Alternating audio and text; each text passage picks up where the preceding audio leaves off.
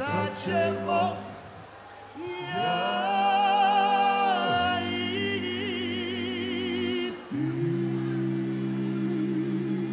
Kao prvo, vrata zaključati, kao drugo, prostor zatvoriti, kao treće, pustiti zavjese, ostaćemo, doma i ljubit se, ostaćemo, doma i ljubit se, ostaćemo, doma i ljubit se, ostaćemo. doma i ljubit se.